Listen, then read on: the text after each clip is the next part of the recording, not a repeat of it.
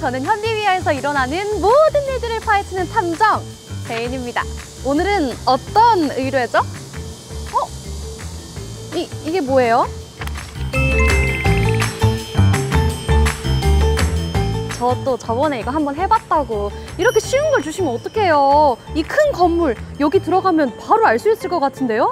지금 바로 한번 들어가 볼까요? 잠깐 누구인가 신분을 밝혀라.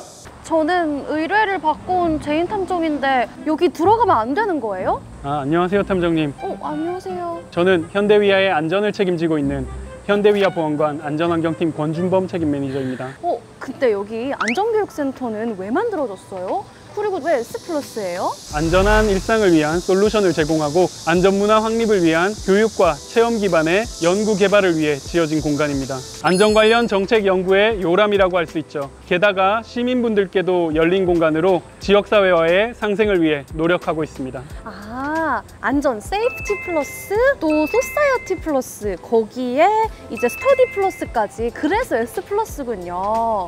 아, 이렇게 이름 뜻까지 알았으니까 이제 진짜 안으로 한번 들어가 볼게요.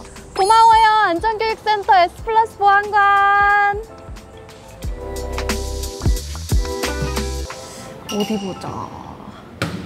어딜 가봐야 되지? 어딜 가야 안전교육센터가 지어진 이유를 찾을 수 있지? 뭐지?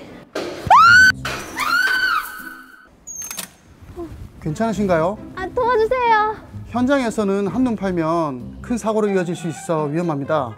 꺼내줄 수 있어요? 네, 나오세요. 네. 네. 추락은 작업 현장에서 가장 많이 발생하는 사고 중 하나입니다. 실제로 작년에 발생한 산업재해 사망 사고 중에 무려 42%가 추락에서 발생했거든요. 42%요? 그럼 진짜 조심해야겠어요. 근데 누구세요? 저는 현대위아 안전환경팀의 이호재 책임입니다. 아, 이호재 책임님. 저 근데 아까 갑자기 떨어져서 너무 놀랐잖아요. 이거 너무 위험한 거 아니에요? 실제로 현장에서 안전 난간이나 안전망을 설치하지 못하는 그런 곳에 설치할 수 있는 그런 보충제를 사용했습니다. 그래서 아이들도 체험할 수 있고요. 고소 작업 또는 깊이 2m 이상에서 작업 시 반드시 착용해야 하는 안전벨트를 메고 추락 체험을 해볼 수 있어요. VR 안경까지 착용하면 실제 고소 작업의 느낌을 실감할 수 있습니다. 어, 여기 실제 현장에서 쓰이는 장비들이랑 안전장치를 모아놨다더니 여기 실내에 지게차가 있네요? 한번 타볼까요? 오. 아, 이건 그 체험형이라서 버튼으로 작동되나 봐요. 어, 근데 지게차는 원래 속도가 느리잖아요. 저도 충분히 운전할 수 있을 것 같은데요? 아, 이거 재밌다. 우와.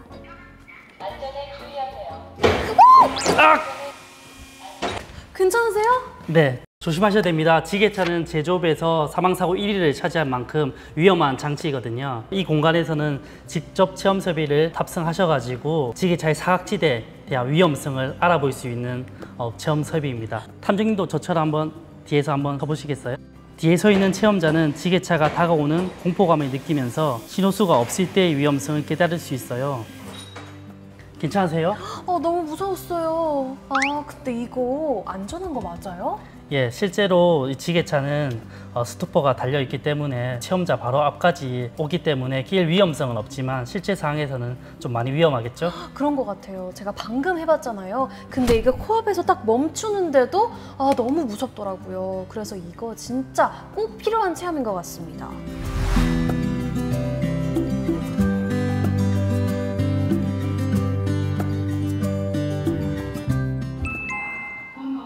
여기 안에는 커튼이 있어요. 제가 커튼을 열고 한번 들어가 볼게요.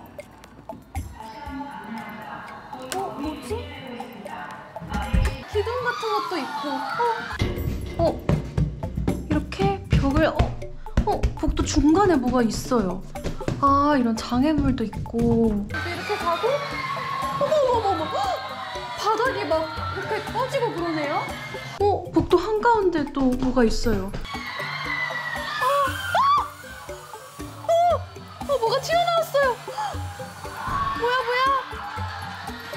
어, 뭔가 연기 냄새도 나는 것 같고.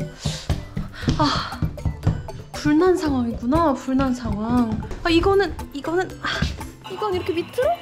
이렇게 가는 게 맞나? 아 나왔다 나왔다. 어떠셨어요, 탐정님? 아 진짜 안에가 깜깜하고 막 소리도 들리고 어디로 가야 될지 모르겠고 아 너무 무서웠어요. 그러시죠. 지금은 안전을 위해서 피난 유도등을 켜놓았지만 실제 화재 발생을 하면 바닥이 더 장애물이 많을 거고 유독가스로 인해서 더 안 보일 거예요. 그래서 이러한 실전 같은 훈련이 중요하답니다. 진짜 실제 상황이 이것보다 더 무서우면 이런 훈련을 해보는 게 너무너무 중요하겠어요. 대피는 물론이고 소화기를 이용해서 화재를 진압하는 훈련과 대피 후 완강기를 이용해서 탈출하는 훈련도 할 수 있었는데요. 화재는 산업 현장뿐만 아니라 일상에서도 발생하니까 미리 배워두면 좋겠죠? 아, 여기 심폐소생술 할 수 있는 공간인가 봐요. 일단 어, 어, 괜찮으세요? 괜찮으세요 해야 되는 것 같고 옷도 벗기고 있던 것 같은데 이렇게 하는 게 맞나? 숨은 불어 넣어야 되나? 걱정하지 마세요. 어, 보안관님 아니세요? 이건 단순히 사람 모양의 마네킹이 아니거든요. 그래요? 네, 여길 보시면 가슴을 어느 정도로 깊이 압박해야 하는지, 숨을 얼마나 깊이 불어넣어야 하는지 보실 수 있습니다. 더 잘하고 있나요? 네, 아주 좋습니다. 오. 게다가 이곳에서는 심정지 환자에게 전기 충격을 줘서 심장을 회복시키는 자동 제세동기 사용 방법도 체험할 수 있어요. 진짜 사람 살리는 심폐소생술 배울 수 있겠는데요?